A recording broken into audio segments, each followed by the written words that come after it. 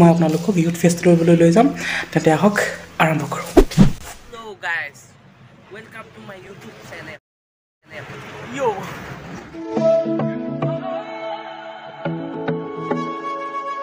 আমি ইয়াত ৱেইট কৰি আছোঁ এতিয়া কাৰণ গাড়ী এতিয়ালৈকে অহা নাই।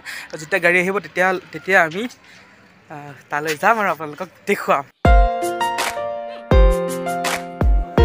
দহ বজাত আহিছিলোঁ আমি আৰু এতিয়া আমি ৰৈ আছোঁ। গাড়ী অহা নাই। কলেজতে আছোঁ। আৰু এতিয়া আমি ৰৈ আছোঁ যে গাড়ীখন আহিব আহিব বুলি। দহ বজাৰ পৰা। দহ বজাৰ পৰা কিমান হ'ব যে এতিয়া? দহ এঘাৰ তেৰ, এটা বাজিলে যে। 2,000 years later. তো বহুত অপেক্ষা কৰাৰ পাছত এতিয়া আমি গাড়ী আহিলে আৰু গাড়ীত উঠিলোঁ। উঠি বাহিৰত দাদা বাইদেউহঁতে কিছুমান কাম কৰি আছে। আৰু মই মোৰ চিটত বিৰাজমান হৈ গৈছোঁ। তেন্তে হওক আঙুলি চাই থাকক। সম্পূৰ্ণ ভিডিঅ'টো একেবাৰে শেষলৈকে গাড়ী চলিবলৈ আৰম্ভ কৰিলে। সকলো ইয়াত উঠিল উঠি এতিয়া আমি ইউথ ফেষ্টিভেলৰ কাৰণে গৈ আছোঁ। ইউথ ফেষ্টিভেল হম দেখো।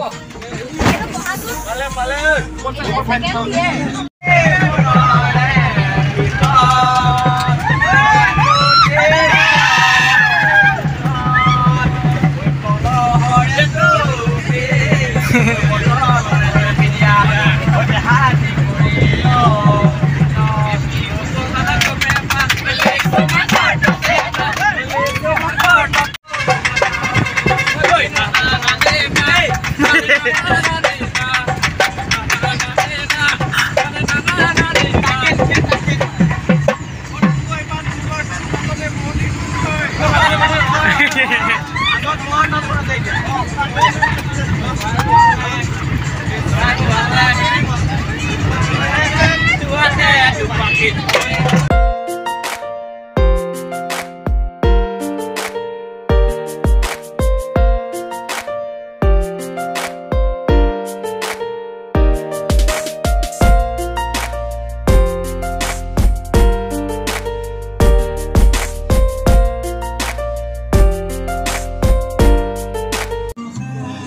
এতিয়ালৈকে পোৱাগৈ নাই আৰু আছে সময়।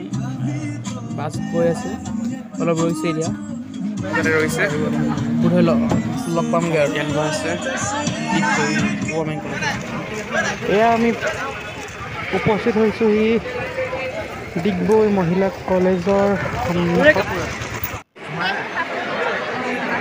ইয়াত আমাৰ দৰে আৰু বহুত সংখ্যক ল'ৰা ছোৱালী বহুত সংখ্যক ছাত্ৰ ছাত্ৰী উপস্থিত হৈছেহি। চাব পাৰে আপোনালোকে কিছু মুহূৰ্তৰ বাবে আমি বাহিৰলৈ ওলাই আহিলোঁ আৰু এয়া বাহিৰৰ দৃশ্যাংশ তাৰপিছত আমি খাবলৈ আহিলোঁ এয়া চাওক বিয়া ঘৰত খোৱাৰ দৰে লাগিছে ইয়াত বন্ধুৱে খাই আছে ইয়াত বাকী आज की कहानी यहीं पे ख़त्म होती है दोस्तों आ, मैं अभी सोने के लिए जा रहा हूँ मतलब ছাৰ বাইদেউহঁতে য'ত নেকি খাই শুবৰ কাৰণে ব্যৱস্থা কৰিছে তাত গৈ আছোঁ এণ্ড এতিয়া আৰু আজি কাইলৈৰ পৰা ফেষ্টিভেল আৰম্ভ হ'ব। আজি আমি পালোহি ইয়াত আহিলোহি।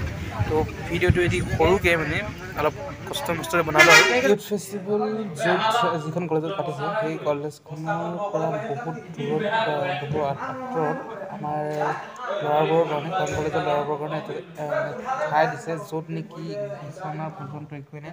তথাপি আমি ইয়াত আছোঁহি দাদা দাদাসকলে অলৰেডি ৰেডি হৈছে আৰু ৰেডি হৈছোঁ কাইলৈৰ পৰা ইউথ ফেষ্টিভেল আৰম্ভ হ'ব আৰু কাইলৈ লগ পাম